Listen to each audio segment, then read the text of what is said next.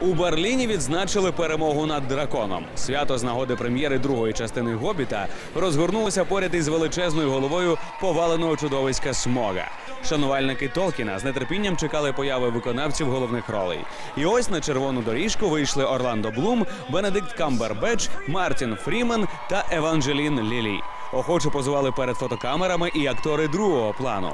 Берлін це фантастичне місто. Німці знають, як зробити казкову прем'єру. Це справді дещо екстраординарне. І цей страхітливий дракон, у якого з ніздар йде дим, він надзвичайний.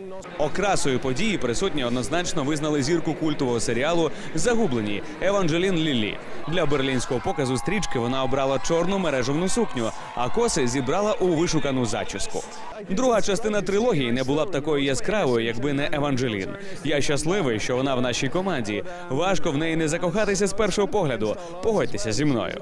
Еванжелін без сумніву талановита. Я щиро полюбив кожного актора. Ми стали справжньою родиною. З першого дня атмосфера на майданчику перетворилася на сімейну. Саме завдяки цьому актори впоралися з усіма завданнями, попри численні труднощі. А труднощів було дійсно чимало. Заради ролі дракона велетня Бенедикт Камбербеч кілька днів поспіль відвідував тераріум, а Мартін Фріман шукав спільну мову із павуками. Я нарешті позбувся найбільшого страху і тепер ладжу з павуками. Скільки себе пам'ятаю, раніше я їх терпіти не міг.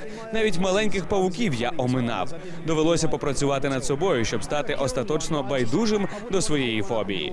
В українському прокаті Гобіт Пустка Смога з'явиться 18 грудня. А тим часом знімання третьої частини трилогії вже завершилося. Прем'єра останнього епізоду призначена на 2014 рік.